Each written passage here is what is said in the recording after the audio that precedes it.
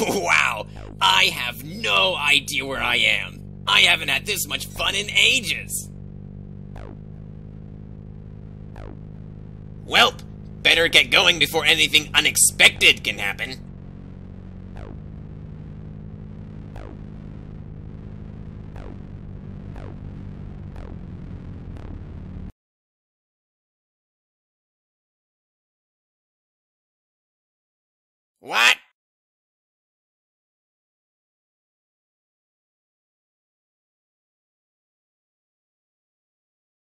Guess the only logical solution is to hide myself from sight completely.